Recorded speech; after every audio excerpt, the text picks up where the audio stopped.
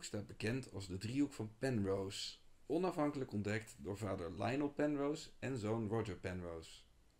Kan dit nu wel of kan dit nou niet? Deze video gaat over de familie Penrose, paradoxen en perspectief. Laten we eens kijken. We trekken de verticale lijnen langs zij. En uitzoomen geeft dan een hint van wat er aan de hand is.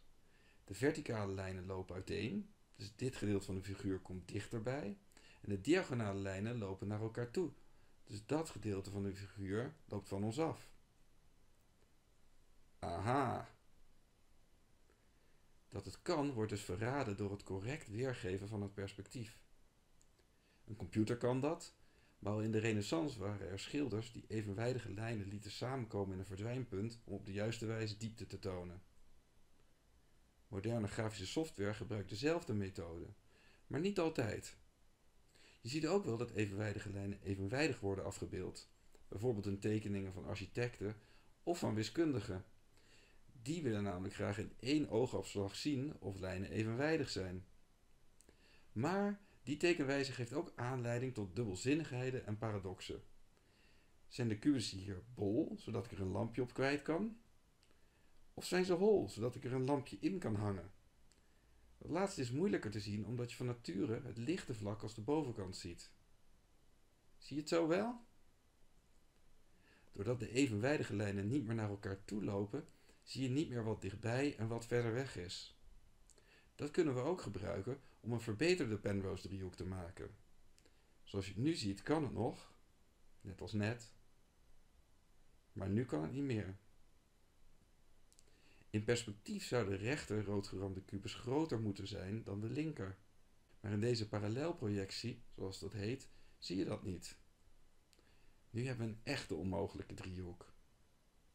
Een andere onmogelijkheid, die hetzelfde principe gebruikt, is de Penrose trap.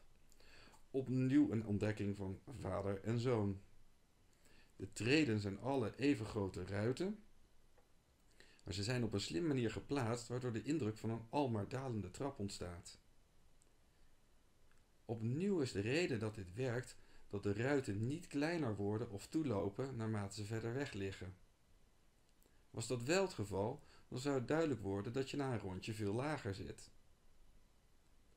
Toch geven wiskundigen de voorkeur aan parallelprojectie. Met een afstandelijke blik zie je evenwijdige lijnen tenslotte ook bij benadering parallel. Maar wiskundigen doen nog een aanpassing. Want als je recht uh, naar een object kijkt, dan ligt de rest van de figuur vaak verscholen achter het voorvlak. Dat maakt een tekening onoverzichtelijk, zeker in parallelprojectie, zoals hier in de kubus, waar alle ribben achter het voorvlak verdwijnen. De truc is de figuur naar linksonder in het gezichtsveld te verplaatsen. Zo ontstaat de zogeheten oblieke projectie. Dat is de standaard voor wiskundigen. Die stippelen dan vervolgens nog de achterste ribben. Maar het opvallende is dus dat deze weergave zelf een paradox is, omdat de figuur er nooit zo uit kan zien als je er recht naar kijkt.